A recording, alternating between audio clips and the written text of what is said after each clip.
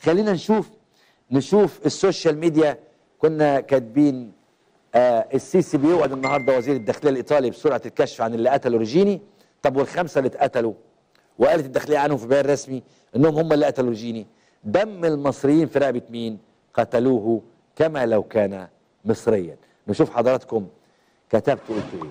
أحمد بيقول السيسي الذي استحلى القتل المصريين وغيرهم لن يرد حق أحد إلا إذا كان هناك بيادة تدوس على رقبته. لكن الموضوع هنا صعب. لأن رد الحق هو قطع رقبته. بشكرك يا أحمد. هاني بيقول يا سيدي أنت بتسأل عن خمسة مين اسأل عن 800 800 الأول اللي ماتوا في جمعة الغضب 2011 مش كده؟ ال 108 ولا إيه؟ 80 800 اسأل عن الناس اللي كانوا بيسألوا عليهم ويقولوا حق الشهداء أيام مرسي وليه اتخرسوا. أنت قصدك بعد كده يعني.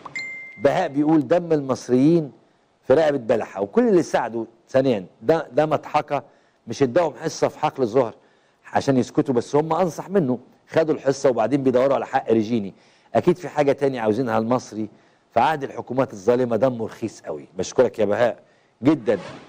آه الأخ ده مغربي رشاد ده مغربي. تحياتي للمغرب كلها وليك أنت.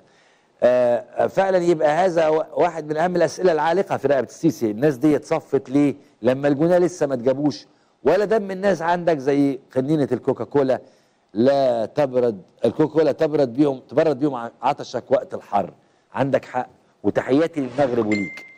صالح بيقول سيسي ما يفرق معاه الشعب المصري كل همه يرضي الغرب. ولا يهمه هو عصابته ورقابهم وكراسيهم. لو إحنا المصريين لم نسكت على حقنا كما لم تسكت أسرة تجرين ليتغير الحال كثيرا. عندك حق والله فعلا. أسماء بتقول دمهم هم وكل شباب ماتوا في المعتقل أو سينا أو حادث على الطريق في رقبة السيسي وأعوانه. تحياتي ليكي. يا أسماء أبو عبد الرحمن بيقول دمهم في رقبنا كلنا. هم وكل الدم الدم اللي سالت في ميادين مصر.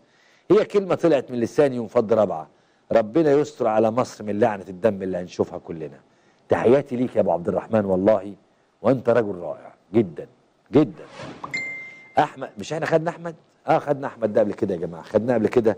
اللي قال استحلى. آه حمد بيقول آه هي المرة الكام اللي بيوعد على الكشف عن قتلة رجيني عد انت يا حمد بقى. عد. المصري بيقول تحياتي ليك يا أستاذ محمد. تحياتي لحضرتك. السيسي كذاب أشهر نيه في بوعدهم على الإيطاليين. أما عن دم المصريين فحدث ولا حرج.